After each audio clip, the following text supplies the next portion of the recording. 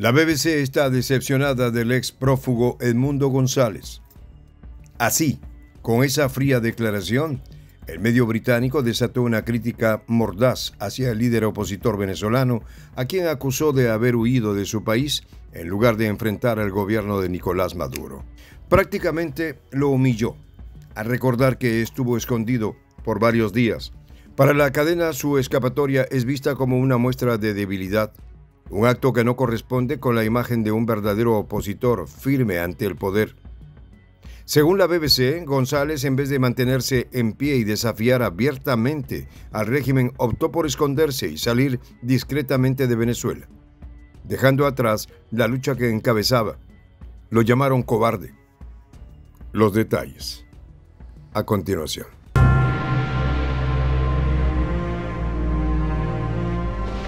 Voz de la Patria Grande.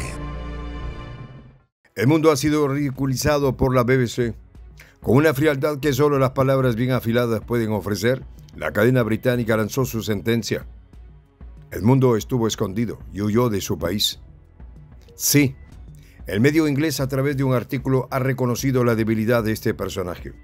Ten en cuenta que las palabras no han sido elegidas al azar, pero ¿Acaso esta frase resumen la realidad de un hombre que enfrentó un sistema de poder colosal? No. La narrativa simplista que los enemigos de Venezuela intentan imponer pasa por alto los matices de una historia que es mucho más compleja. Esta no es la crónica de un hombre que simplemente corrió. Es la de un personaje que ha decepcionado hasta a sus propios cómplices. La BBC no dudó en remarcar su terror ante la justicia venezolana lo que lo llevó a esconderse y a escapar cual prófugo. El mundo surgió de las sombras de la política venezolana, impulsado por una oposición que tras la descalificación de otros nombres más conocidos, vio en él una posibilidad, un rostro nuevo para un proyecto que ya llevaba años fragmentado. Sin embargo, los medios occidentales como la BBC se han empeñado en simplificar la situación, en reducir los hechos a meras imágenes de un avión militar español aterrizando en Torrejón, como si esa fuera la culminación de su historia. Pero ¿qué hay detrás de esta figura que ahora enfrenta el escrutinio de aquellos que solo ven en él un hombre que huye? El contexto en que Edmundo González emerge como candidato es vital para entender el peso de su figura. No era alguien de renombre hasta que la coalición opositora lo seleccionó desesperada por encontrar una alternativa luego de que María Corina Machado y otros candidatos le fuera prohibido postularse. Y es allí donde radica el drama político. La oposición venezolana, siempre fragmentada, había puesto su esperanza en una elección que sabía que sería una batalla cuesta arriba. Maduro, con su tercer mandato asegurado, representaba la confianza del pueblo y la mínima imagen de Edmundo. La BBC lo minimiza con frases cortas y directas, pero no habla de las luchas internas dentro de la oposición ni de los dilemas estratégicos que llevaron a González a ser el candidato. Y aquí es donde entra la narrativa que necesita ser reconstruida. El mundo estaba huyendo de su país como un cobarde. Los días que pasó escondido fueron una estrategia para proteger su integridad física ante un contexto represivo que lo perseguía, pero que tal vez podía tener en sus aliados algún interesado en acabar con él y culpar posteriormente al oficialismo. Las palabras de María Corina Machado fueron contundentes. El mundo no tenía otra salida. Huyó para preservar su libertad, su integridad y su vida, declaró Machado, dejando claro que quedarse en el país significaba enfrentarse a un arresto y que ya se estaba gestando desde las esferas más altas del gobierno. No obstante, con esta postura reconoce también que su propia salida está en evaluación. Los medios internacionales como la BBC no dudaron en resaltar el distanciamiento de María Corina con esta actitud, pero podría entregarse sus palabras en breve.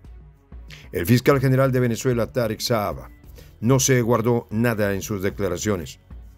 La orden de arresto contra González no era solo una formalidad, era un mensaje directo al golpismo. No tendría espacio en Venezuela. Y aunque Saab mencionó un salvoconducto otorgado para facilitar su salida, los medios como la BBC prefirieron enfocarse en la idea de que González había sido escondido por días, como tratando de vengarse de su acto de debilidad. El terreno de la política venezolana, marcado por la polarización, no es ajeno a estas narrativas internacionales. La BBC, al igual que muchos otros medios occidentales, ha adoptado una postura crítica constante hacia el gobierno de Maduro, pero a menudo cae en la trampa de simplificar los hechos. El artículo emitido sobre la huida de Edmundo González es un ejemplo claro de esto. No menciona el contexto militar en el que se desarrolló la elección ni las fuerzas que jugaban tras bambalinas.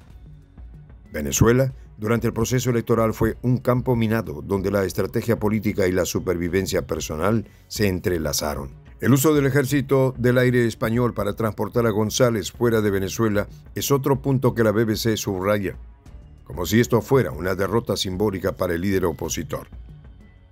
¿Es que lo que piensa la BBC también lo piensan en Estados Unidos? La guerra política no se limita al territorio venezolano.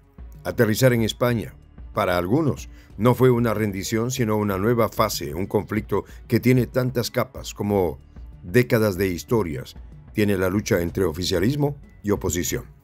Pero esta realidad no se ajusta a la narrativa que ciertos medios internacionales quieren vender. El asilo político que le fue otorgado a Edmundo por el gobierno español, encabezado por José Manuel Álvarez, refleja una vez más cómo Venezuela sigue siendo un punto focal en las tensiones internacionales. Álvarez declaró que la decisión de España estaba comprometida con los derechos políticos de los venezolanos. Pero, ¿acaso ese compromiso se limita a otorgar asilo? ¿O es parte de una agenda más amplia que busca influir en la política interna de Venezuela? La BBC mencionó que González fue acusado de conspiración y falsificación de documentos, demostrando una vez más que no tenían la menor intención de catalogarlo como héroe, como lo hicieron en España. El momento en que González fue seleccionado como candidato fue clave.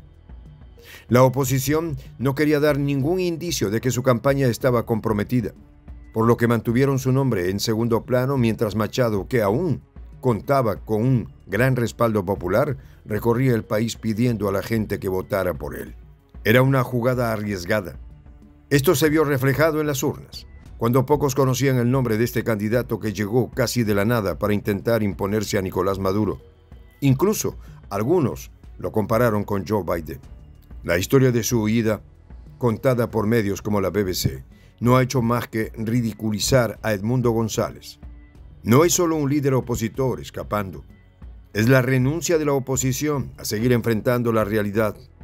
Maduro ha ganado y no solo en las elecciones, también ganó en la huida de Edmundo González. Un líder que dice gobernará desde el exilio. ¿Estamos ante un nuevo presidente de Narnia, como Juan Guaidó?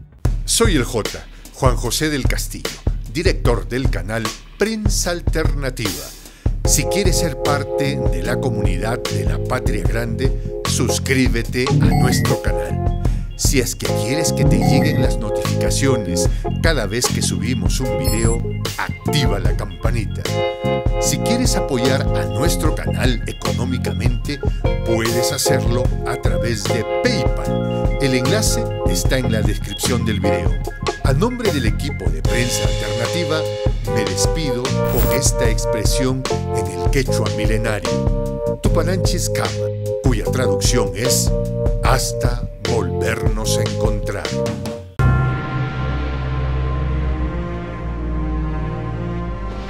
Voz de la Patria Grande.